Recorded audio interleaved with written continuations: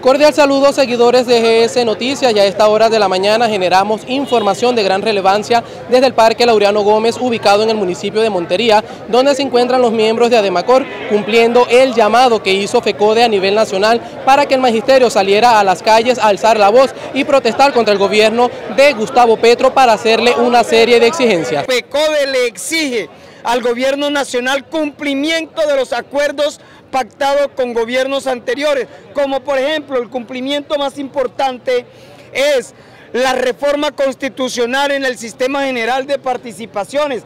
Nosotros los maestros estamos haciendo exigencia que hayan más recursos para educación, pero es que el magisterio se sale del resorte de la educación porque queremos apoyar al pueblo, a la ciudadanía en general.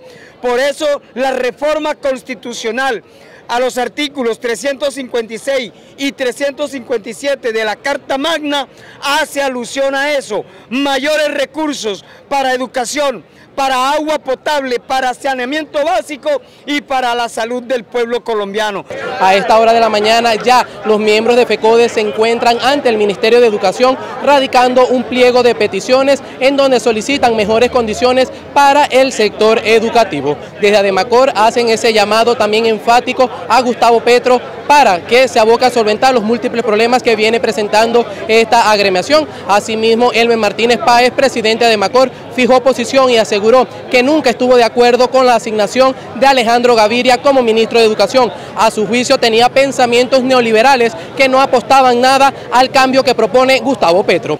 El ministro de Educación no representa las políticas de cambio. El ministro de Educación con sus ideas ahí se enmarca el neoliberalismo y este gobierno no es de la línea neoliberal, este gobierno enmarca políticas de cambio que va en beneficio de la educación pública, que va en busca de la dignificación para nuestros estudiantes, para esos estudiantes que merecen una atención digna en lo que tiene que ver con el derecho a la educación pública. Informó para ustedes Wilson Alvarado con la cámara de Camilo Rojas.